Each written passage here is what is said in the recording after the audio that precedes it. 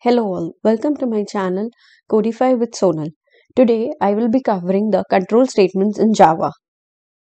If you want to uh, see what are data types, what are the basic syntaxes and uh, how do you install and set up Java, please uh, refer to my previous videos in the playlist Java. So when uh, you want to execute a program in Java, at certain points you need to make decisions. What has to be done when the following thing is true? Like suppose for an even odd example, if the number is even, what has to be done? If the number is odd, then what has to be done? So to make these kind of decisions, we use control statements. Now these control statements are being uh, defined in three types. One is decision making statements which consists if statements and switch case. Loop statements, there are three types or four types of loop. So, and third one is jump statements, break and continue. Let's go and see each one. So, if statement, what if statement does is uh, it just executes the particular section of code only if the condition is true otherwise it will go to the next line of code suppose if i have a condition here and the i if it gets true i will execute this code else i will go to the next line now, if suppose I want, uh, if this condition is true, something to be done, and if it is false, something else to be done. So, in that particular uh, situation, I will use the if else block. True condition, this particular code to be executed. False condition, this particular code to be executed. Now, we'll see each one of them. I'll uh, give a demonstration to you. I'll show you a live demo. Before that, we'll just uh, see all the statements then you have switch case. Now we saw if else like two path things. Now if we want number of paths like if i want to see uh, like you have 7 days in a week.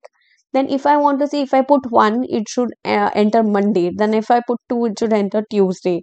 Like that till 7 so in this way i can have cases. Like 1 is my case then 2 is my another case 3 is my another case. This way. And it can also have a break as optional. We'll see that let's see this is the syntax. We put the expression it will match exactly with this value one then this code will execute. And if you want to break it there itself just i want to match one value match i want to make it uh, come out of the switch case. So that's why i'll use a break statement. And default here default will be executed. If there are no cases matched default will be executed coming to loop statements. So loop statements as i said the loops are in four uh, four different types of loops. So let's see the first one for loop. So for loop when you have to use this uh, when your iteration is fixed. So in this what you do is you initialize your variable you put up a condition and you increment and decrement. How you'll do this? We'll see it in a while once we start our live demo. And uh, here the code will be executed Next comes while loop. While loop when you have to use while you know that okay I want to check till when I have to go before this condition is true till that time I want to run it. Like you do not have an iteration is not fixed. In that condition you will use the while loop. Similarly in syntax here while condition and in uh, do the following code and increment and decrement the statement. Next coming to do while loop. Do while loop what it says is the when to use it iteration is not fixed but you want to run the loop at least once even if the condition is false. So you will first execute once and you will update the statement and you will do it till the particular condition is true. For each i'll be doing in the uh, next uh, video. So let's see ahead. Uh, jump statements. When you encounter a break statement inside a loop the loop is terminated and the control jumps to the next line of code. So break as the word means right? Just break the loop from there not going to the next iteration just come out of the loop. If you want to break a loop at a particular uh, execution that you're done with this you want to break it then you can put the statement as break so it will come out of the loop. Next in this jump statement we have continue. Suppose i want to uh, write the numbers from 1 to 10 but I want to skip 4. So when I, when I see the iteration is 4 I'll just say continue before printing it. So what will happen? It will print 1, 2, 3 then 5, 6, 7, 8, 9, 10. So in this way I will get the current flow of the program and I will skip the iteration. For as you use continue keyword it will skip the iteration and move to the next one. It will not come out of the loop. Remember this the difference between break and continue. Break lets you come out of the loop and continue lets you iterate the next iteration. So let's see the live demo of whatever we discussed now. So today i'll be using the spring tool suite as my ide so now let's create a java project. You, as you can see here in the left create a java project. And i name the project as control statements demo.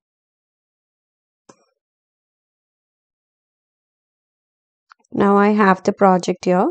Then I'll create a new class say demo by default it goes in my default package of the application. Okay. So I have my class as demo. Now uh, uh, let us have the main method. Okay. So now uh, first let us start with if statement. So now if I want to say int a equal to 10 int b equal to sorry 20 okay now if a is less than b I want to sysout is a shortcut in ID in this IDE for uh, printing the println statement. So now I say over here A is less than B. Okay, simple. A int A int B. These are two integers. Uh, one has the value as 10 and another has the value as 20 and I'm just trying to execute a if statement. I want to make a decision that A is less or B is less out of these two numbers. So definitely 10 is less than 20 and it will print my statement. Now let's run this. You can click here run as Java application. So it prints A is less than B which, which means what 10 is less than 20 now if you want to check how you uh, define data types and what are different types of data types i have already done a previous tutorial on data types so you can check that out. Now if suppose my this situation is false and i want to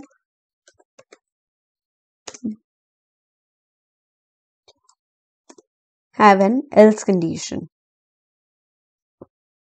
Okay so now if I want that if a is not less than 20 then I want to print sorry sysout okay? Then I want to print a is b is le less than a. All right now let us to make the else run we have to change the value. So now this condition 30 is not less than 20 it will get false. And we will uh, it will execute the else block. Now let us play it again. B is less than e. Okay. So i guess if else is understood. Now let's have something particular uh, like if i want to keep this as 18 and this uh, suppose we'll have an int time equal to 20 okay? So now I say if time is less than 18 18 means what? I'm considering it as 6 o'clock. Then I want to print good day. Else if time is not less than 18 that means it is greater than 18 and it's night time uh, evening time. So i would say good evening. Okay? So this is one case. Now i can have one more condition over here is okay let's make this uh, if we want to have a nested uh, if structure. So what we can do is if less than 10 let's print it as good morning. Then else if time is less than 18 I will print it as good day. And I will have one more else block in which I'll be having the same similar kind of statement which but it says good evening so before 10 it's good morning. Before 6 it is good day. And after 6 it is good evening. So this is my if else if ladder. Okay. Now I have put the value as 20 that means what? 8 o'clock. So it should print good evening. Okay. Now if I put it as 14 sorry. Yeah 14 2 o'clock. So it will be what? It will be good day. Okay? Now if I print it as 9 morning 9 o'clock. So it will print it as good morning. Okay? So i guess the if else if is understood. So now let's go ahead and see some uh, see the switch case statement.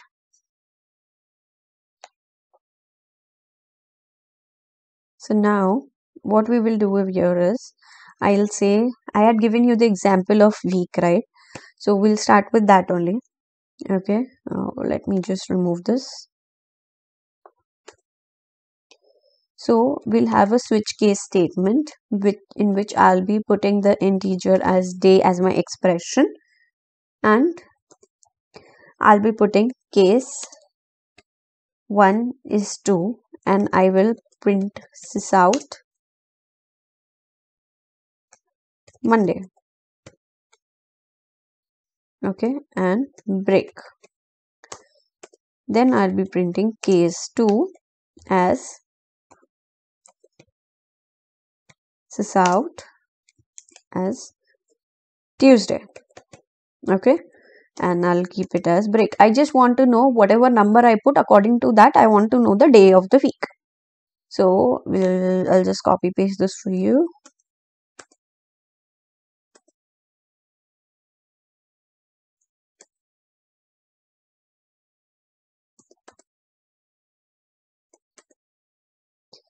so one two three and it is Wednesday. Make sure you have all the cases as valid, else it will give you this kind of error that it's a duplicate case. Okay.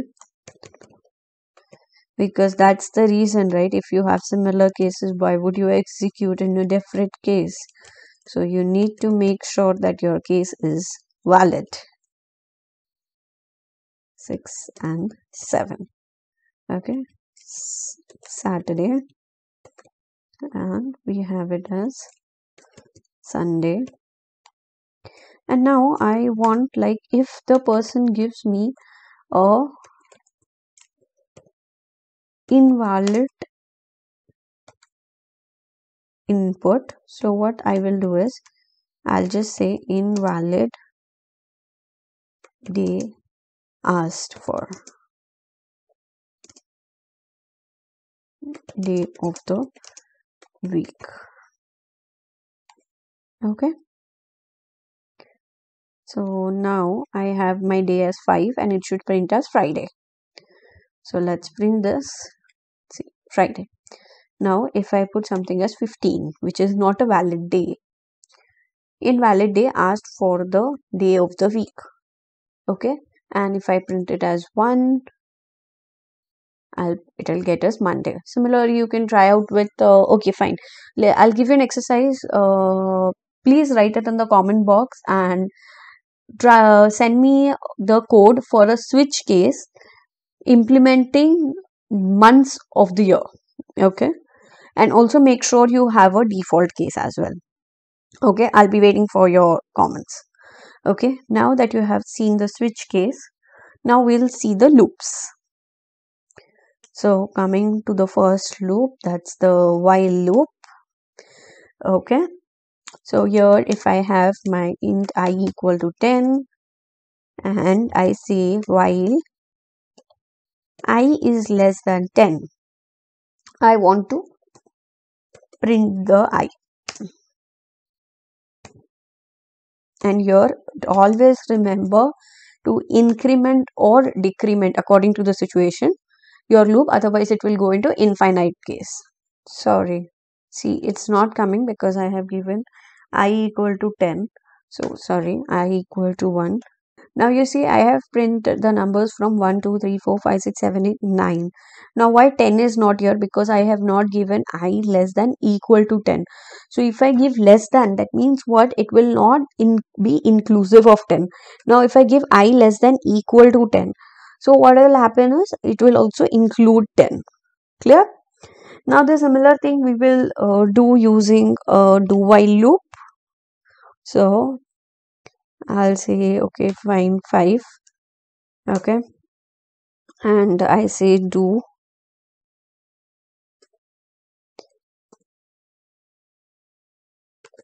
Sysout. I. I plus plus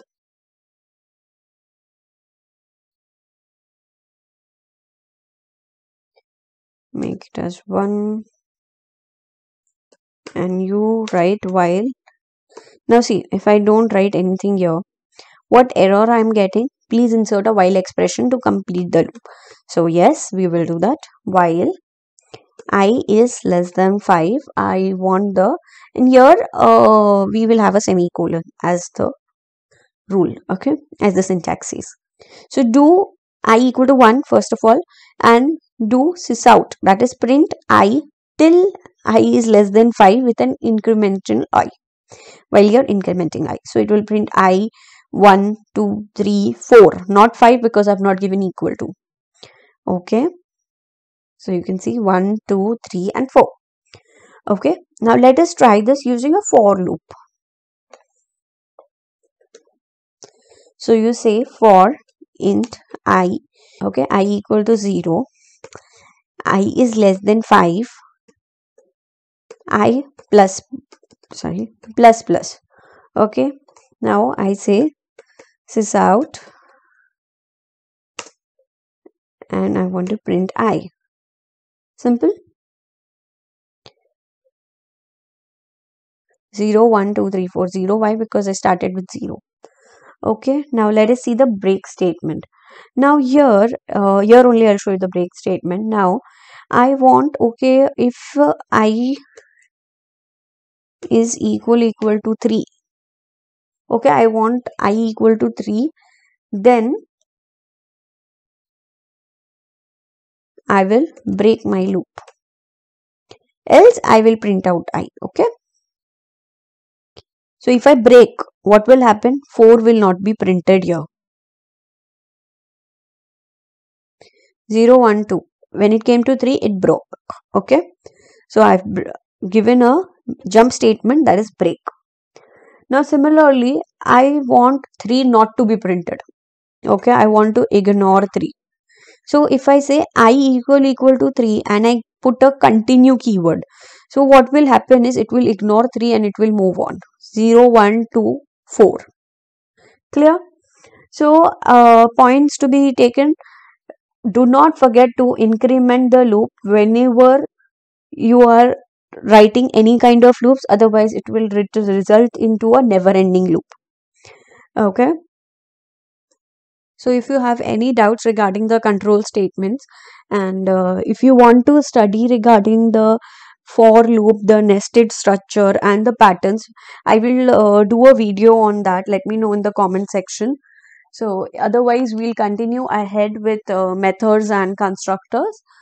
So and i've also given you a switch case uh, exercise. Please uh, code it in the comment section and send it to me. We'll be discussing with the name of the uh, commenter and we'll discuss in the next uh, video. So till then stay happy. Let's codify with sonal in the next video Thank you. Please like, share and subscribe my video. Don't forget to click a bell icon so that whenever I put the next video, you get an update. Thank you.